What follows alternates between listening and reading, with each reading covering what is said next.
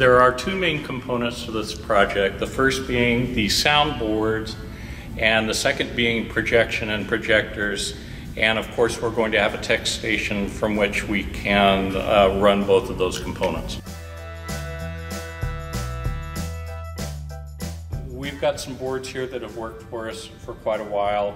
Uh, the technology is quite dated now.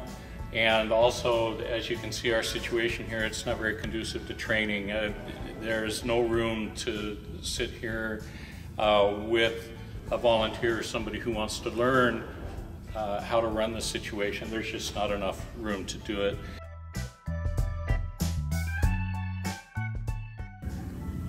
Our current projection system is run from a cart that sits, of course, in the back of our worship center in the aisle. So people have to walk by it in order to get to their seats.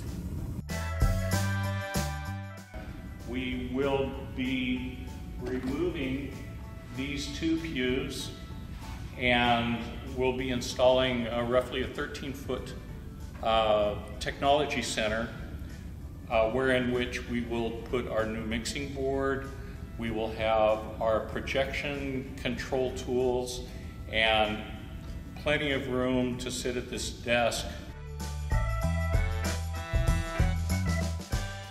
Um, our projectors are older technology and um, eventually will fail us. Right now, we actually have some bulbs that are currently failing, and we're getting a blinking light from that. And with time, that those will actually go and will need to be replaced. The hope is to replace our two front projectors with two new laser projectors. We'll be able to double our lumens, which will give us more accurate and vivid color for our congregation. We'll also reduce the amount of time that our PowerPoint creators take to do their work.